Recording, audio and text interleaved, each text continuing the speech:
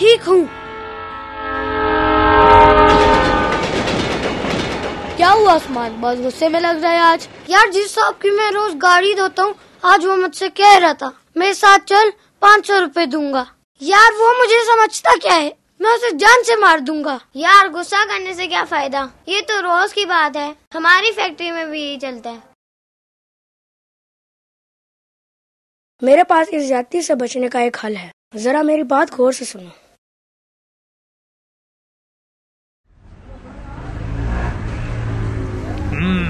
फिर क्या सोचा तूने?